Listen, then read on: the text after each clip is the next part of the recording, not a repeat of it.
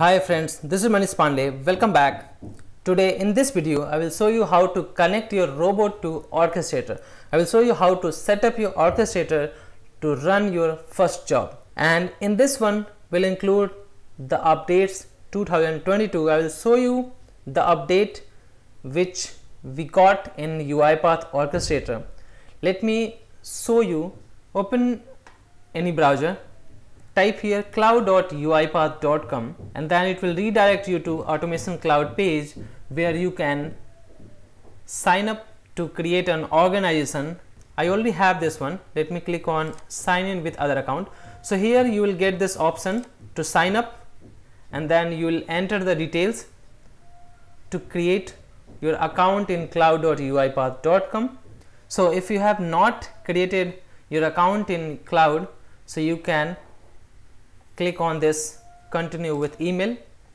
You can enter the details here. You can continue with your google also with microsoft you can enter the details here also.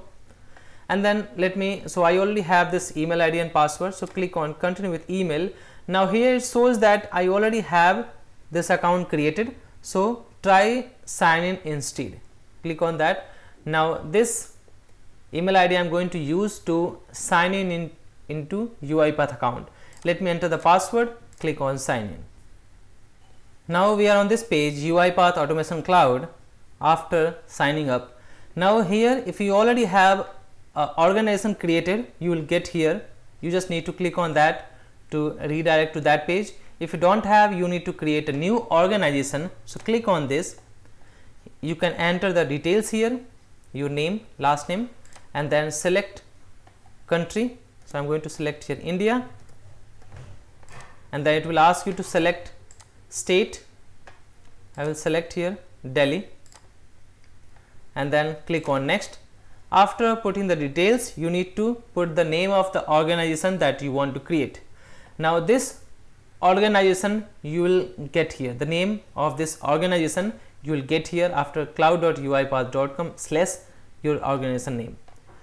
You can just put a name and then click on create now I already have that one so I will not create that one. I will go back here go back here and I will select this one. So you can see cloud.uipath.com slash uipathrp underscore org I will select that one. So the first step if you are new to the orchestrator you will sign up into UiPath cloud and then create an organization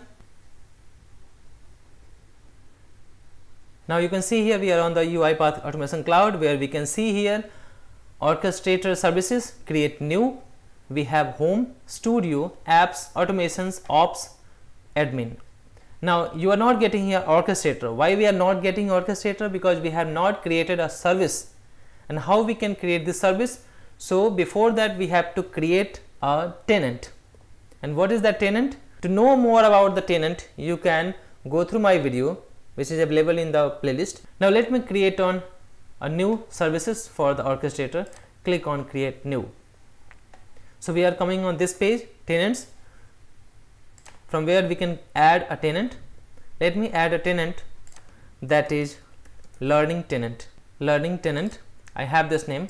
Now if you want to assign a color to that you can select here and then here you can see by default orchestrator will be assigned to this tenant. So each tenant you will create will have the access to the orchestrator and these also if you select any of these services you will get that. So let's leave as it is. Now click on save. So this learning tenant will be now created here. You can see tenant learning create operation started and after some time you will see that tenant created successfully. After that, once this tenant is enabled, then you will get orchestrator left side here, which will allow you to redirect to the orchestrator homepage. So you can see here now we have this tenant learning and these are the services that is assigned to this tenant. So each tenant will have these services and this tenant is now enabled. That's why we are getting orchestrator tab here.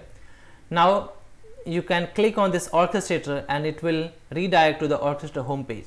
But before going to that, I am going to show you here the new changes in this UiPath orchestrator that is new admin experience.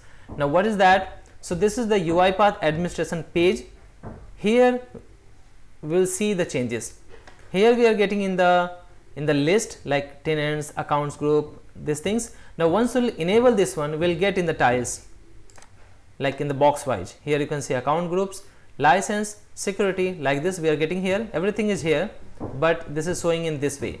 Now here also we have this menu we can click on that and we can find everything here we have now orchestrator so we can click on this and click on orchestrator so it will redirect you to orchestrator homepage now you can see here this is the url of this uipath orchestrator this is cloud.uipath.com after that your organization name then your tenant name which you are using to access this orchestrator and then slash your orchestrator now you can see here close this one now you can see this is the home page of this orchestrator. Now the next step to set up your orchestrator is create a folder. Here you can see we have tenant and by default it comes with a shared folder. Once you click on shared folder it comes with three users. One is administrators, second automation users and third automation developers. So here we are going to start with the new folder so, click on tenant, click on folders and then we have this folder selected, click on this plus and then here we will put a folder name that is a learning folder something like that learning folder copy and paste here or you can leave as it is now here tenant package feed leave as it is selected now click on create now once you will create here, you will see here one folder that is learning folder. Click on that learning folder. Now right side you can see here in the users one user selected and this user that is UiPath RPA which is we have created. Now after that we need to create a machine. So in this folder we'll create a machine. So click on this machines. Now you can see here we are not getting any machines here. So we need to create a machine. So click on manage machines in folder.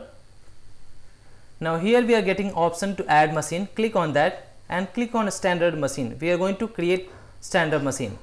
Now this machine name will be same as your computer name. And how can we find our computer name? You can first way you can open this command prompt and you just need to type here host name. Enter. And this is your machine name. Copy that. Close this. Paste here.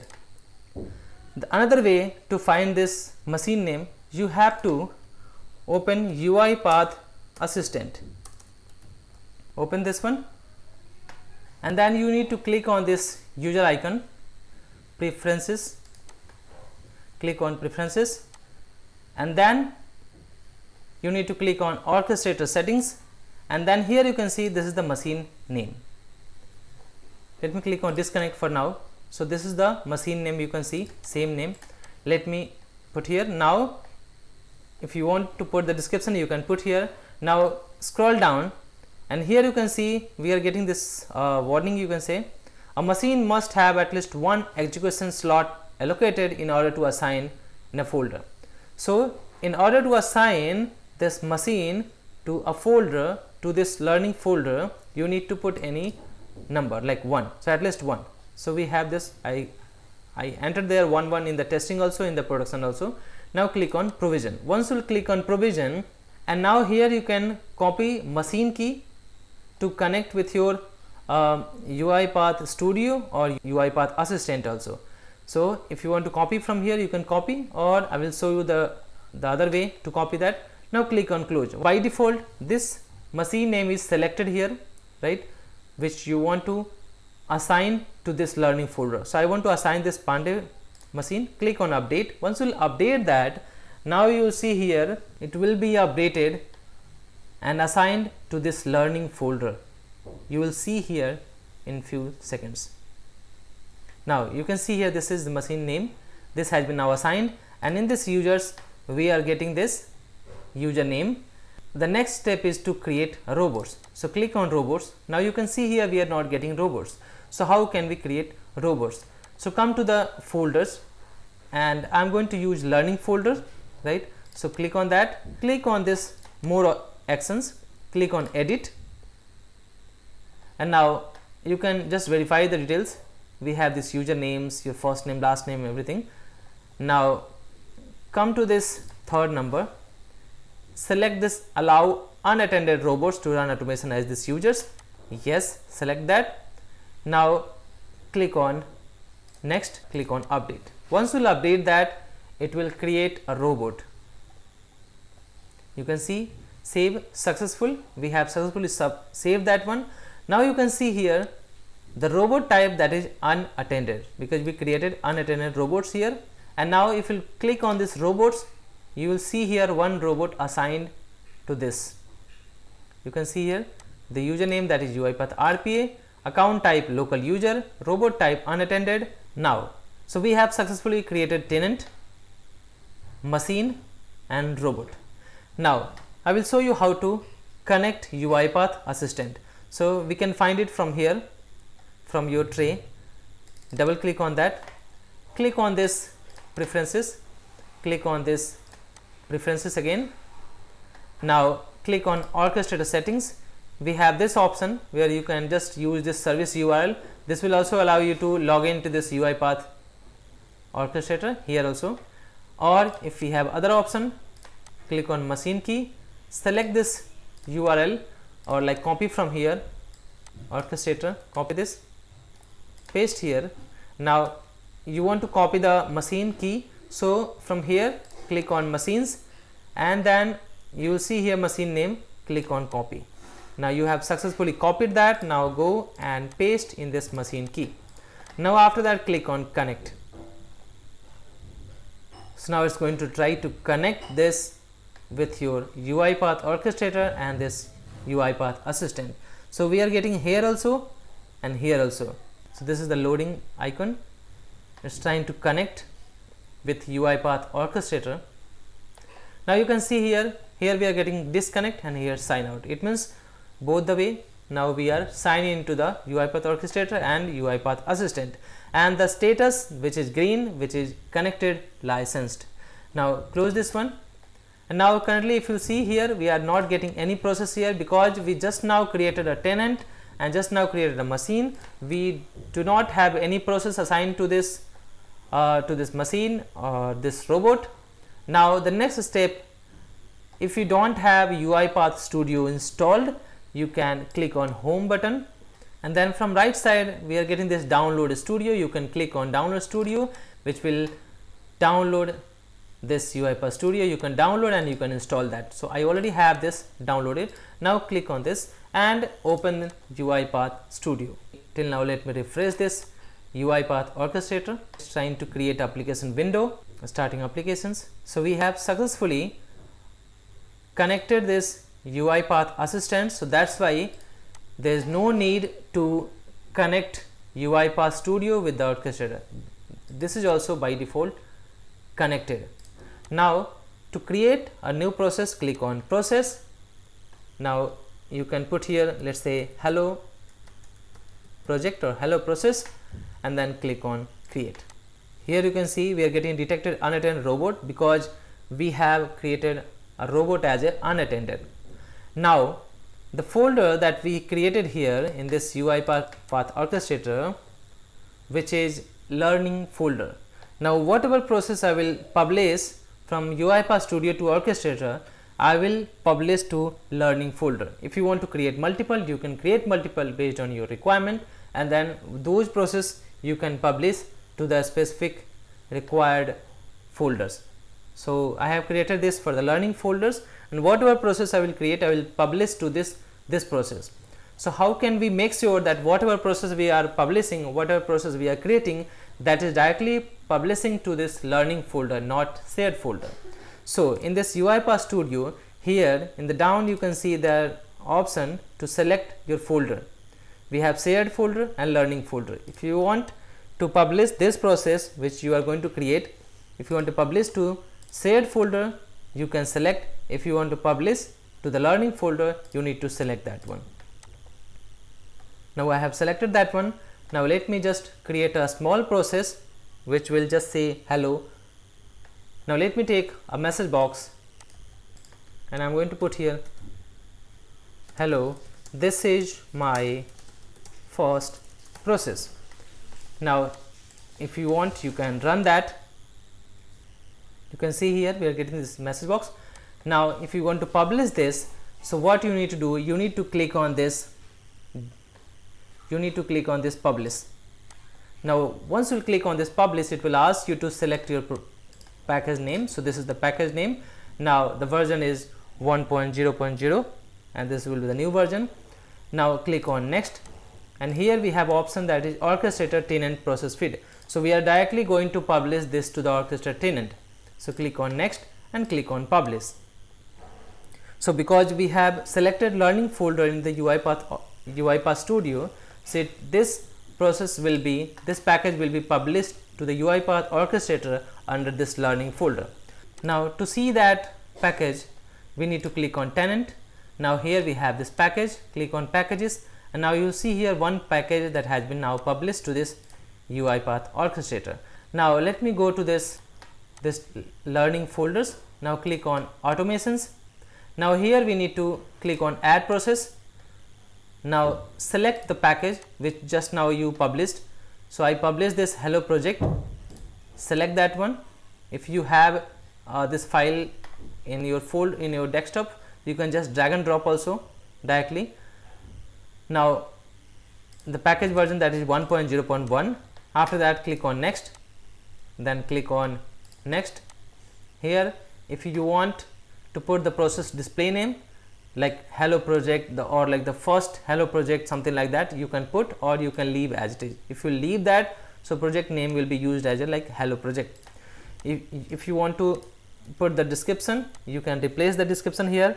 If you want to put the tag also based on your process based on your business based on your department you can put the tags also. You can add multiple tags. And now click on create. Now we just now added the process in the folder.